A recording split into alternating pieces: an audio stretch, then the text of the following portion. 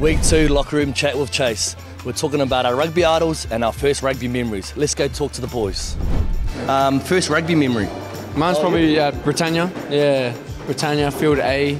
Yeah, just running with the ball. That's back. it. Yeah. Yeah, nice, nice. Friday night lights. We used to have little junior festivals every Friday nights. Used to love them when you're like five, six years old. They, they were the best. Your first ever rugby idol.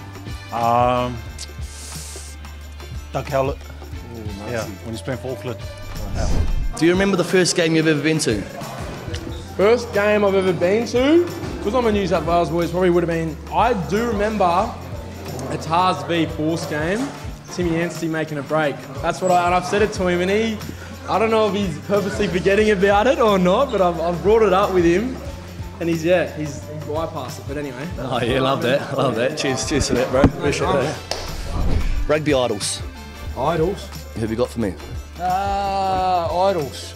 Mine are probably a bit old, my guys. So rugby idols, I'd look at people like uh, Frank Bunce, Walt Little, like from the day, back in the day. Midfield combination, awesome.